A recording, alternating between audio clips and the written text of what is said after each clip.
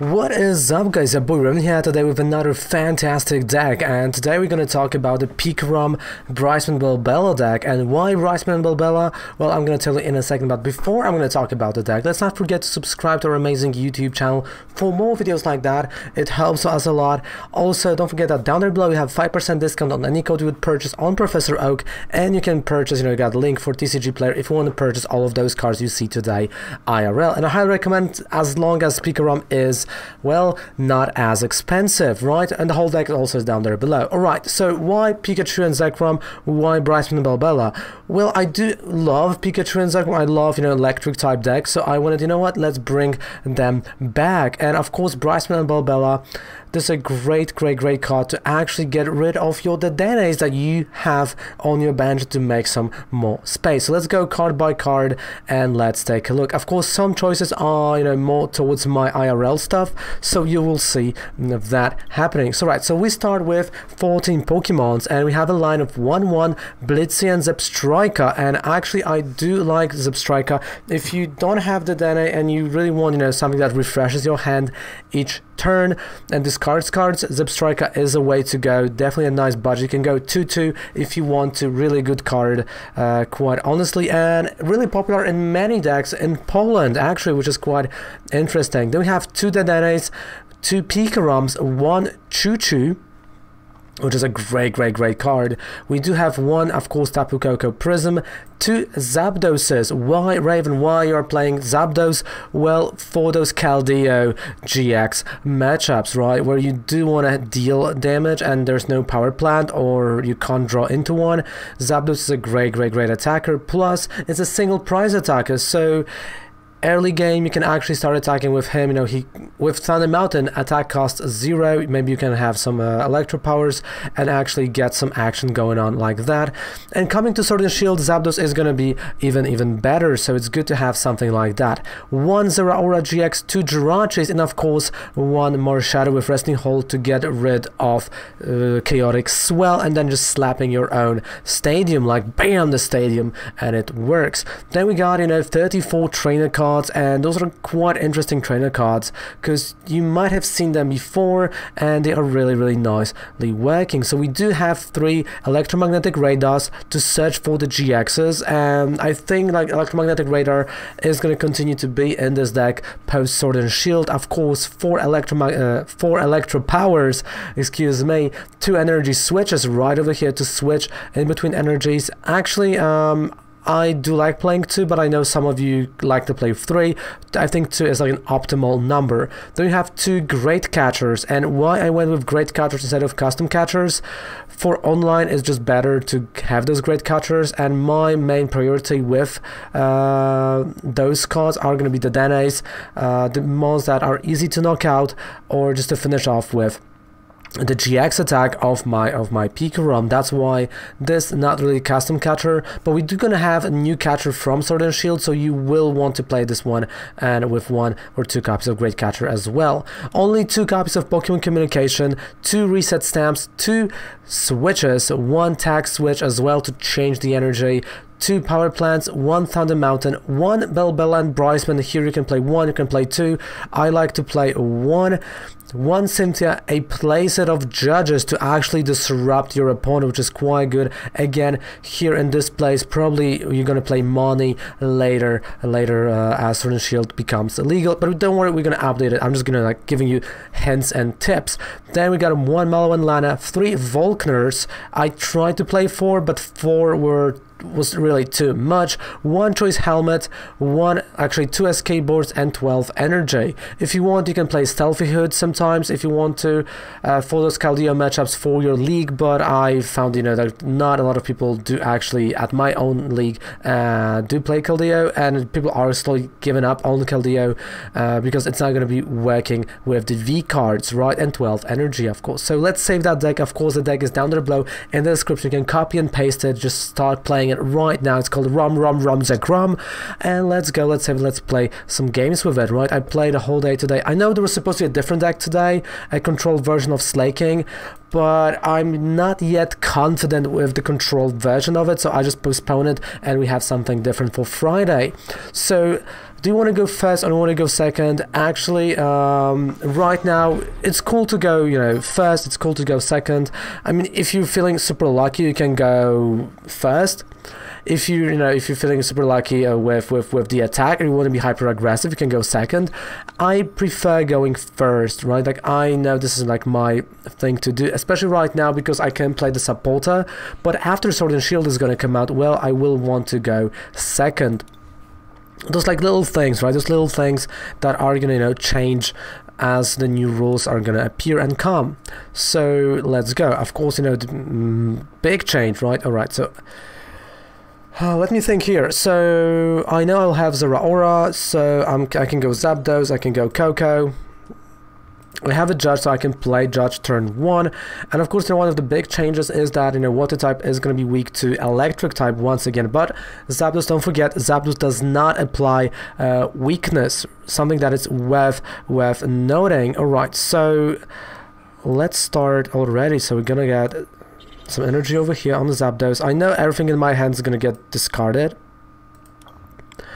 So I can either go right now for the Dedenne right and just refresh my hand or I can play Pikarom and play a judge to disrupt my opponent but I don't think my opponent right now has really good hand. So I'm gonna go play Zeraora not play a judge so I can still play uh, supporter after I'm gonna go and play Dedenne and play that Dedenne and of course because of Zeraora I can actually retreat right so let's play that Dedenne let's get the fresh six cards and look at that we got a Pikarom. perfect. I can again discard the energy. Of course, you know, choice helmet over here. I can go if I want to, I can discard the energy with electromagnetic radar, right? And that's exactly what I'm going to do. So we're going to discard the energy, electromagnetic radar, discarding the energy. Of course, uh, going for, I can go for Choo Choo, I can go for Dedenne.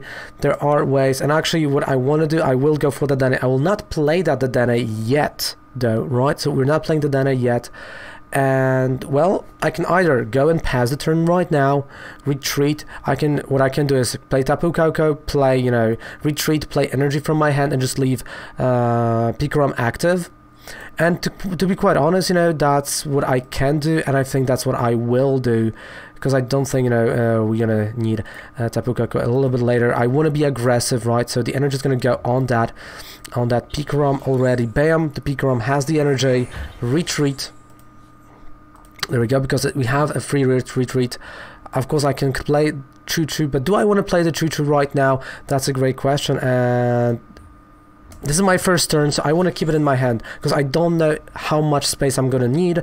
Of course, I have free retreat cost if I need to attack with Zapdos, and that's pass of the turn. But this is uh, this is a GG, a game number one, right? So you see, you know, we had a lot of options. Like my opponent kind of knew uh, what we were doing, what we were up to. So that was a game number one. Let's go. Let's play a game number two. And I mean, I said it. This deck is just fantastic, and cards like Brycen and Belbella just making it better because when you play those two that you can play Brycen Belbella, discard three cards. Sure, you're discarding cards because of that, but you're getting rid, you're discarding both the Dedennes from your bench, so there's no more situation when someone can actually knock out your Dedennes and snipe them. So here, power plant, we got the Dedenne, we got electromagnetic radar as well, as, as well. So Jirachi start, great start with Jirachi, you know, not starting with the Dedenne already I know there's some energy gonna get discarded actually two energies right we're gonna slap that uh, Dedenne later and I'm gonna go for Zeraora and a Pikarom Right, that's an Emolga deck, uh, or a Nozzle deck, I should say, right? So it's a Pachirisu Nozzle deck, a deck that, well, do, does play, know, cards. Okay, uh, I don't have Zeraora. So the deck that does actually go and play cards, for example, like So I do have to be a little bit careful here uh, with what uh, we're facing. Of course, uh, energy is going to go from my hand. Not playing Power Plant, because if I would play Power Plant and then the Dedenne, the Dedenne would do nothing. So let's take a look over here. We got a Thunder Mountain, we got a Zapdos. So I also do have Blitzle. But I discarded Zebstrike, and I know I only have one Zebstrike in my deck, so there's just no point of having it. We do have a Zapdos, let's play him. I still can play Supporter, so let's go, let's find maybe a Supporter. But a Switch, I think for me, Switch is great. I can actually play that switch. And what I can do as well is use it even right now.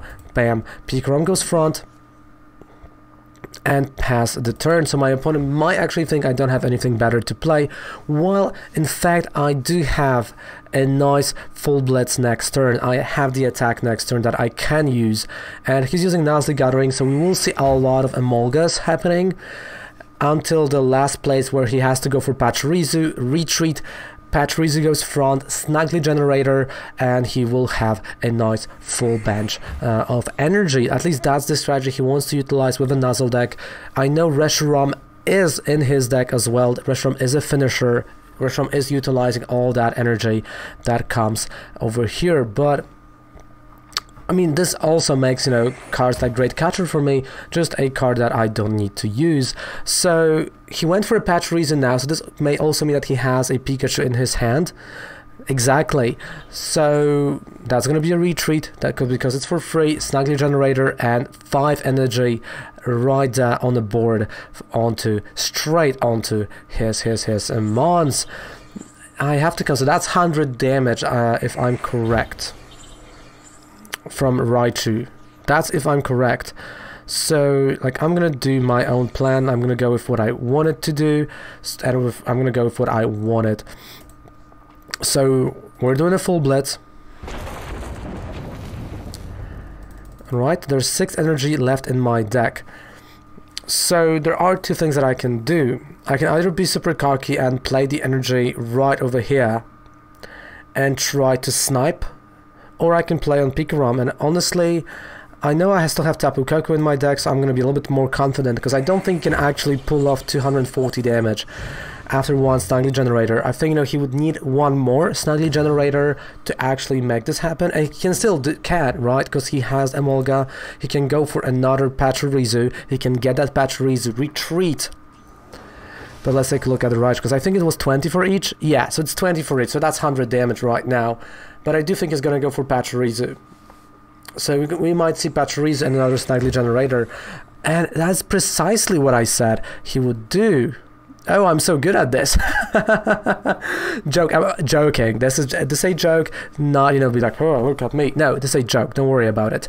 So I mean, because this, you know, I played this deck many times and I liked this deck. I wanted to play this IRL, but the cards like right just never came. Uh, I had to, you know, go for a refund from the guy from from from from from a card market from Italy. Well, I mean, it happens, you know. Um, it's okay. So he goes Electro Power, but it might not be enough for 240 damage.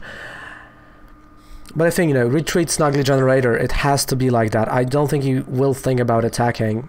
Exactly. So Pachirisu another Snugly generator, and this time I know I will be using a GX, but I'm you know I'm quite you know torn on why he played the energy on the Snugly generator when he kind of knows that there's a Thunder Mountain on board. So I would rather go and play energy on Emolga or anything else rather than Pachirisu because that's a loss of energy already. I mean, I would snipe whatever he would have with two energies because that's you know that's a problem of three after the Snugly generator.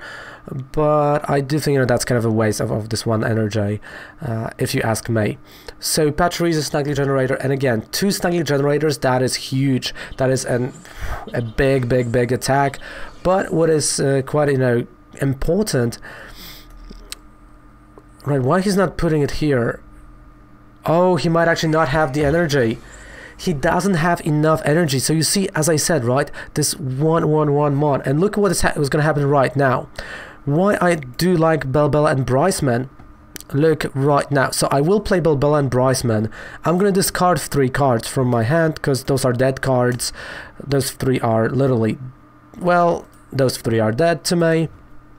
But what happens, right, what ended up happening is we're shortening his bench so the fact that he played the Snug Generator doesn't matter to me that much because, well, as you can see, right, he has to discard three cards. And honestly that's a game right because we're shortening his bench and that you know that's why Bilbella and Brightman are making this deck so good, so powerful in those in those later later moments. So guys, it's a fantastic, fantastic uh, showcase of uh, the Pikarom deck in the current standard format, and honestly, I highly recommend you checking it out because Pikarom is gonna come back. I promise you, is gonna come back in Sword and Shield, and it's good to just be back in this disruptive, disruptive environment. So I want to say thank you guys so much for watching this video. Don't forget to subscribe to our amazing YouTube channel for more videos like that. Just don't forget to click this down down there below. You can click my my emoji to subscribe, and also say thank you so much for watching this video. Goodbye,